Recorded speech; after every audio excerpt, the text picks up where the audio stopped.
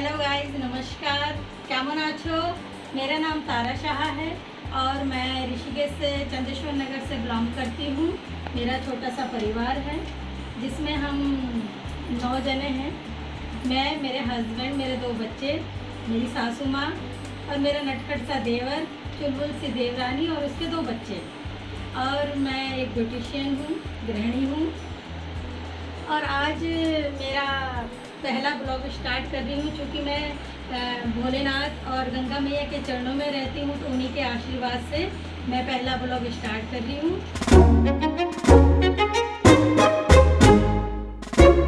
तो जैसे मैंने आपको बताया कि मैं एक ब्यूटिशियन हूँ तो मैं अपने पूरा घर का काम करके, अपने परिवार को देख के, उसके साथ साथ थोड़ा वक्त निकाल के मैं अपना पार्लर चलाती हूँ और उससे रोज़गार करती हूँ।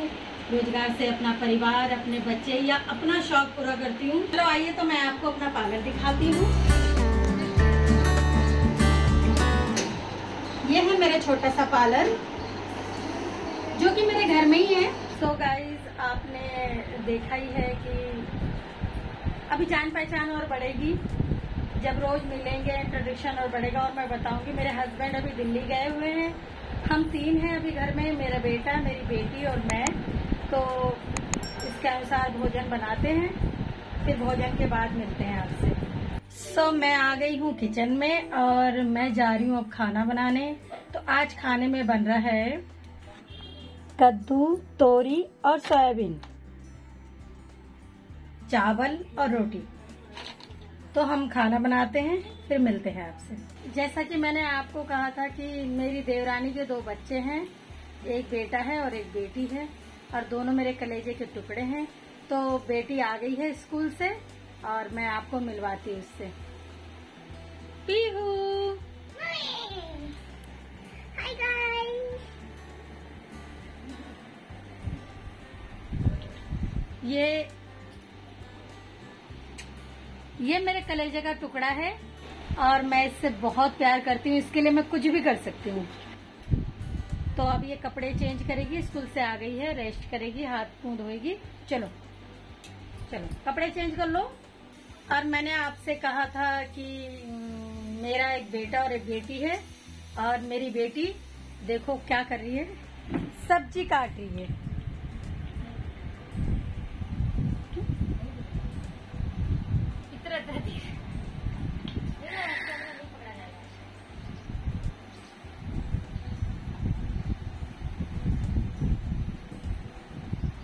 ये मैंने स्पेशल रखा है सब्ज़ी काटने के लिए। और मेरा बदमाश बेटा भी आ गया। शीश का। कुछ भी? ये है देवेश शाह और ये मेरे देवरानी का बेटा है। और subscribe Deve Shah gaming YouTube channel सबका सिस्टम हैंग करता फिरता है ये। सो so, हमारा खाना बन चुका है और हमने बनाए हैं आलू सोयाबीन के सब्ज़ी। पकोड़े, चावल, तोरी की सब्ज़ी, पराठे और हम बस खाते हैं खाना। खाना पीना हो चुका है और गर्मी बहुत है क्योंकि मौसम खराब हो रहा है, कभी भी बारिश आ सकती है। हमारे यहाँ ऋषिकेश का ऐसे ही हाल है। बस हल्की सी गर्मी, मौसम खराब और बारिश। आपको शायद पता ही होगा कि तेरह चौदह को अभी यहाँ पे हमारे यहाँ गंगा का जलस्तर बढ़ने के कारण पूरे इलाके में पानी भर गया था। हमारे घर में भी पानी था। दो तीन फुट अब निकल चुका है। सामान वगैरह सारे सुखा दिया है। और नीचे का जलस्तर काफ़ी बढ़ने के कारण लोगों के घर में पानी घुसने के कारण काफ़ी सामान का नुकसान हुआ है लोगों का। सरकार जो भी मदद करेगी, सरकार जाने। तो अब चलते हैं पार्लर। रक्षाबंधन भी आने वाला है जैसे कि आपको पता है। सो so, मैं बहुत थक चुकी हूँ आज क्योंकि पार्लर में आज बहुत काम था। जैसे कि मैंने आपको बताया मेरा मेरे शॉप नीचे है और मेरा रूम ऊपर है। तो मैं इसको क्लोज करती हूँ फिर मैं खाना वाना बनाती हूँ। आज शाम को चाय भी नहीं पिया है। बहुत तेज भूख लग रही है। तो साला ये दुख का खत्म नहीं होता बे। क्योंकि मेरे हस्बैंड घर पे नहीं है तो मैं शाम को चाय पीना भी भूल गई आज। एक्टिंग है। वो रहते हैं तो टाइम से चाय नाश्ता सब कुछ। सही कहते हैं लोग। हस्बैंड घर ना हो तो बीवियाँ लापरवाह हो जाती है। हाँ सच्ची। जब से वो गए हैं तब से घर में कुछ काम नहीं है। बस हम तीनों माँ बेटे बस कुछ भी बना लिया, हमने रोटी या चावल या कुछ भी खा लिया, हमने बस खाने का भी कोई ज़्यादा टेंशन नहीं है। अभी वो आएँगे दो तीन दिन बाद तो मैं उनका इंट्रोडक्शन कराती हूँ आपके साथ। ऐसे नहीं, जब फेस टू फेस इंट्रोडक्शन कराऊँगी। सब पार्लर की हो चुकी है सफ़ाई। अब हम करते हैं लाइट ऑफ़ सो so, मैं फ्रेश हो गई हूँ। मैंने नहा लिया है क्योंकि मुझे बहुत गर्मी लग रही थी और अब पीती हूँ चाय। और मेरी बेटी को देखो एक थाली सजा के पकौड़े लाई थी सब चट कर गई। मेरे लिए कुछ नहीं छोड़ा इसने। सिर्फ़ दो पीस। और मेरी चाय हो चुकी है ठंडी। प्लीज़ गरम कर दो।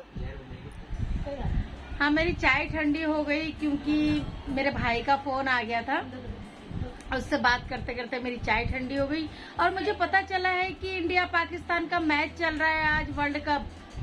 और मैं लगाने जा रही हूँ फटाफट टीवी में, क्योंकि मैंने कब से सोचा था कि मैं आज वर्ल्ड कप देखूँगी और मैं भूल गई हूँ। सॉरी, और मैं जल्दी से लगाती हूँ। मुझे देखना है मैच। आप लोगों को कैसा लगा ये ब्लॉग?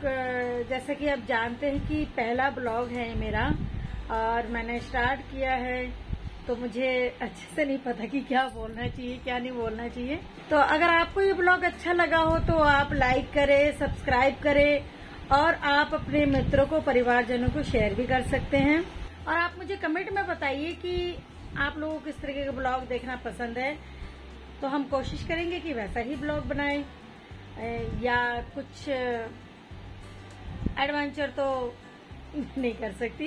मैं परिवार के और क्या कहते हैं कुछ काम का, या हम ऋषिकेश में है, योग नगरी ऋषिकेश तो यहाँ अच्छी अच्छी जगह है घूमने की। हम वहाँ जा सकते हैं, आपको दिखा सकते हैं। कैसे कैसे मंदिरें हैं, गंगा जी है, राम झूला, लक्ष्मण झूला, जानकी पुल तो मैं इस ब्लॉग को यहीं एंड करती हूँ। और आपको तो अच्छा लगा तो लाइक सब्सक्राइब ज़रूर करें। और कमेंट में बताएँ कि कैसा अच्छा लगा। शुभ रात्रि नमस्कार।